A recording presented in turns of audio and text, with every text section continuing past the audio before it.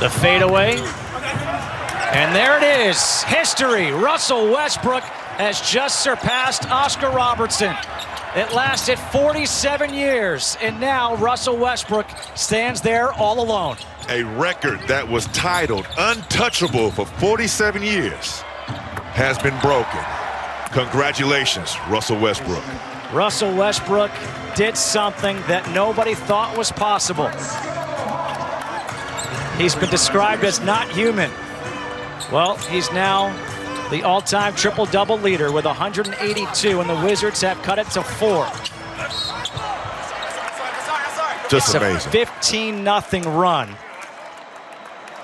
I mean, just unreal that we've all been able to witness the history in the making and now that record being broken. And they just announced it in the arena at State Farm Arena. The Wizards players applaud.